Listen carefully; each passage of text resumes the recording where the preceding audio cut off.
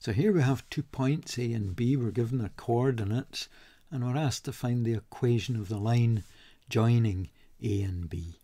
Several methods of doing this. Let's look at the first one. We'll use the formula y minus b equals m x minus a. Now when we do that, we know that point AB is a point that lies on the line and the value m is the gradient. So let's first of all work out the gradient of the line joining A to B. And we use the y difference over the x difference. Let's just put that down. y difference over the x difference. So we look at the difference between the two y coordinates, 6 minus negative 2. And if you started with the point A, you also have to start with the point A when you're doing the x difference. So that's negative 1 minus 3. 6 minus negative 2 is same as 6 plus 2. Minus 1 minus 3. Let's think of number lines. We're at minus 1 and we move 3 to the left, take away 3, we'll get to minus 4. And 6 plus 2 is 8. So it's 8 over negative 4. Positive divided by negative is negative. 4 into 8 goes 2. So we've got a negative 2 gradient. Worth double checking. If you go 1 along, you should be going 2 down. That looks fair enough from this diagram. That's what a gradient of minus 2 would mean. So our gradient's minus 2, and also the point that we're going to use for AB, the point on the line, well, you choose. It could be this one or this one. Let's use negative 1, 6. So point on line is negative 1, 6. You can check you'll get the same answer if you use the point 3, negative 2.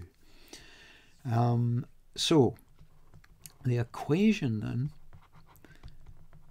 is y minus b, and there's your point A, B there. So B would be the value 6. That's the y coordinate of the point on the line. So y minus b equals gradient m, which we've worked out as negative 2, times x minus the x coordinate of the point on the line.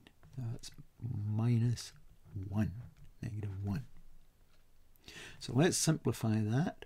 y minus 6 is negative 2 times x plus 1. Take away negative 1, we're adding 1. Let's get rid of the brackets on the right. Negative 2 times x. Negative 2 times positive 1 is negative 2. And let's tidy that up by adding 6 to both sides. That'll disappear. When you add 6 to negative 2, you get 4. So there's the equation of the line joining A and B. Now there is another way of doing that, um, which still involves the, the calculation of the gradient as being negative 2. So we suppose the equation is y equals mx plus c. So what do we know about this equation? Well, if the gradient is negative 2, we know that y will be equal to negative 2x plus c. And we know negative 1, 6 is on the line. So let's use x being negative 1 and y being 6 and put them into that equation. So we'll get 6 is negative 2 times the x coordinate negative 1 plus c.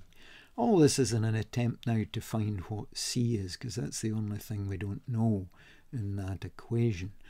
Uh, so here we go, 6 is negative 2 times negative 1 is positive 2 and if we take 2 from both sides we'll get 4 on the left, that 2 will disappear, we'll get c equals uh, 4.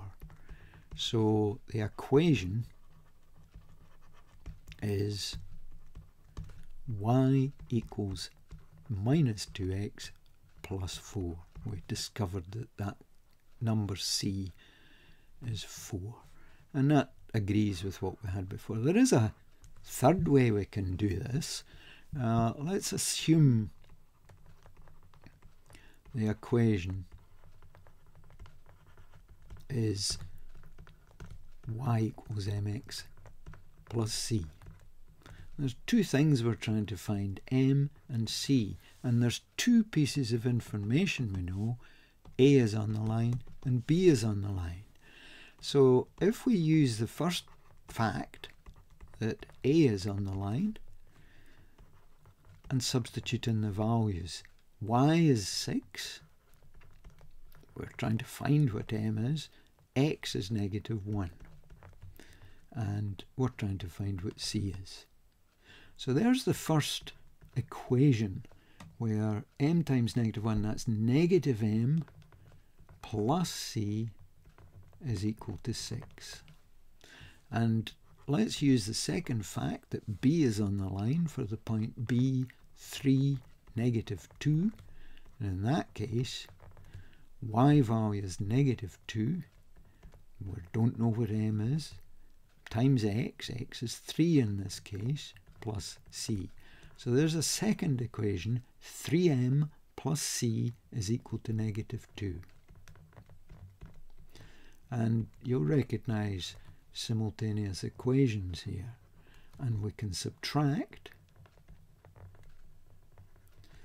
negative m minus 3m, that'll be negative 4m. c minus c disappear. 6 Take away negative 2s, like 6 plus 2, that's 8. And let's divide both sides by negative 4. So m is 8 divided by negative 4, which is negative 2.